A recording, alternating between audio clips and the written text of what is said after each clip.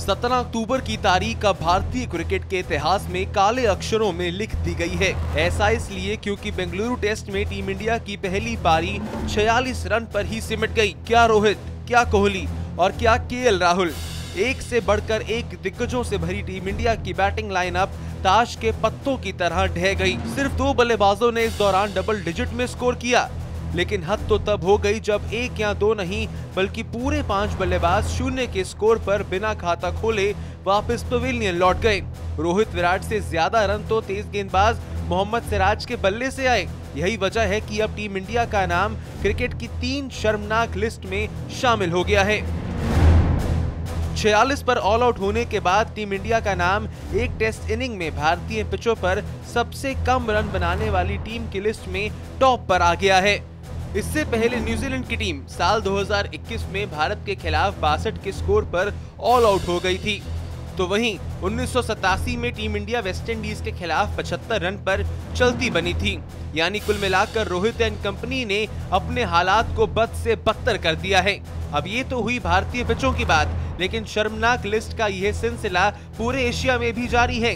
एक पारी में 46 रन एशियाई सरजमी पर किसी भी टीम का टेस्ट क्रिकेट के इतिहास में सबसे कम स्कोर है।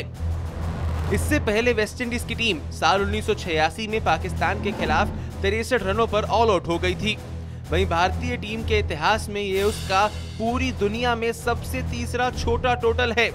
भारत ने साल 2020 में एडिलेड में ऑस्ट्रेलिया के खिलाफ 36 रन बनाए थे, जो कि टेस्ट मैच की एक पारी में भारत का सबसे छोटा टोटल है।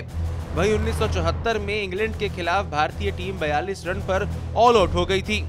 बात अगर मुकाबले की करें तो बेंगलुरु के मैदान में पहले दिन जमकर बारिश हुई तो दूसरे दिन टीम इंडिया के बल्लेबाजों पर न्यूजीलैंड के गेंदबाज कहर बरसाते हुए नज़र आए, जिसका टीम इंडिया के कप्तान रोहित शर्मा सहित उनकी टीम टॉस जीतकर पहले बल्लेबाजी चुनने के बावजूद नहीं कर सकी। नतीजा ये रहा कि टीम इंडिया को बेंगलुरु के मैदान में एक शर्मनाक रिकॉर्ड का सामना करना पड़ा और उनकी टीम बानवे सालों के टेस्ट क्रिकेट इतिहास में पहली बार अपने घर पर सबसे कम 46 के स्कोर पर सिमट गई। बेंगलुरु के मैदान में पहले दिन बारिश होने के बावजूद दूसरे दिन मौसम खुला तो टीम इंडिया के कप्तान रोहित शर्मा ने पिच पर नमी होने के बावजूद चैलेंजिंग कंडीशन में टॉस जीतकर पहले बैटिंग करने का फैसला किया। इसका फ़ायदा न्यूजीलैंड के तेज गेंदबाज टिम साउदी विलियम ओरेक और मैट हेनरी ने उठाया। पहली पारी में साउदी ने एक, विलियम ओरेके के चार और मैट हेनरी ने पाँच विकेट चटकाए। इस मैच में भारत को पहला झटका नौ के स्कोर पर लगा था, लेकिन 46 आते आते पूरी भारतीय क्रिकेट टीम ऑल आउट हो गई।